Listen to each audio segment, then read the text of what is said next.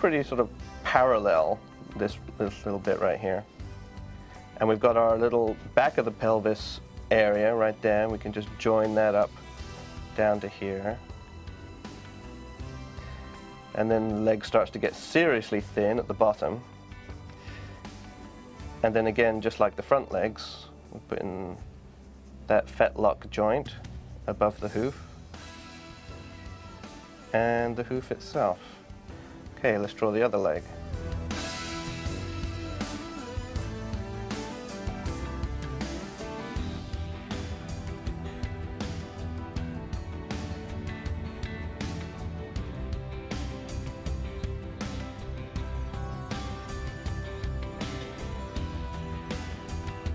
Let's put in his hair. Now this is the fun part because you can just sort of do whatever you want with his hair and just imagine it going in like really interesting directions. And the secret is really not to make it all the same, to do big bits and little bits. His mane stops right at the point of his withers. If we see it back there, we see like a little uneven line of hair at the top. And then we have to put in his forelock. So that's his hair. And then his tail, we know where his tail comes out because we've got this spine running through, so it comes out right there. And the bone inside his tail, when he's happy, he tends to carry it up high like this. So remember there's bone in there until, until here. And then you can start to curve it and hang the, uh, the tail down like a flag.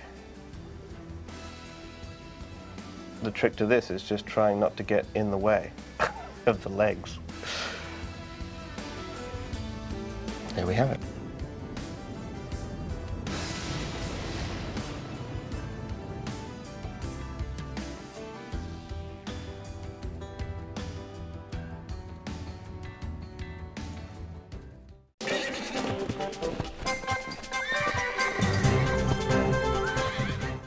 The next step is to add some details, his eyes and his hair, and I've got my nice black pencil for that, and my eraser so I can get rid of some of this skeleton.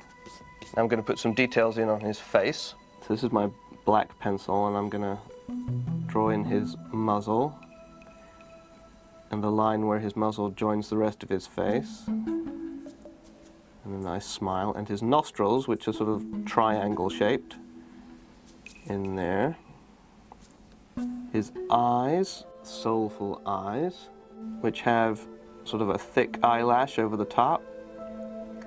His eyebrows, which real horses don't have, but Spirit does.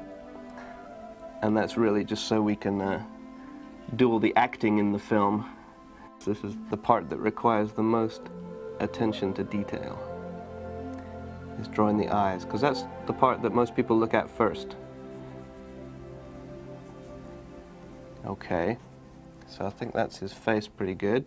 Put a few more nice crisp outlines on him. I think we're almost ready to color him in.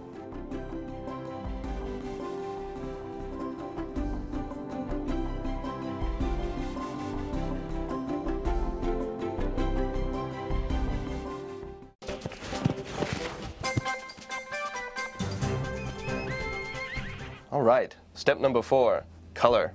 I've got some nice spirit-like colors here. So a very dark chocolatey brown for his uh, mane and tail and his uh, stockings.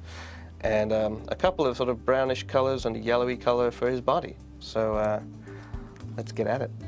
Remember, when you're coloring him in, not to get too mechanical with the coloring. So when I'm coloring the hairs on his tail, I'm trying to do it in the direction of his tail, like this. You can put a little shine on his tail too, just by leaving out a bit of color. Give it that nice shiny look.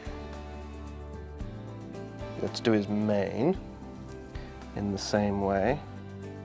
I'm not going to go crazy with the shadows, but I am going to give it a bit of a, a feeling that he's sort of a bit lighter on the top than he is on the bottom. So when I'm doing his belly, I'm again thinking of that round shape and letting my pencil flow with that round shape. A little darker under there. and a little lighter on the top. His nose and his forehead a little lighter, as if the sun is hitting it. And then let's do his stockings, which are pretty much the same color as his mane and tail. And his muzzle too. Make that just a little lighter than his mane so you can see it properly. His nostrils. And then his hooves, which I'm just going to use the black and press very lightly so we get that gray color. I'm going to take another color, a lighter yellowy color, and go over the top because sometimes I think it's nice to mix colors up. We're just about done. All right, well I think that turned out pretty good. Don't worry if yours doesn't turn out quite like that just yet. It took me a lot of years to get this far. The only thing left to do is to sign it.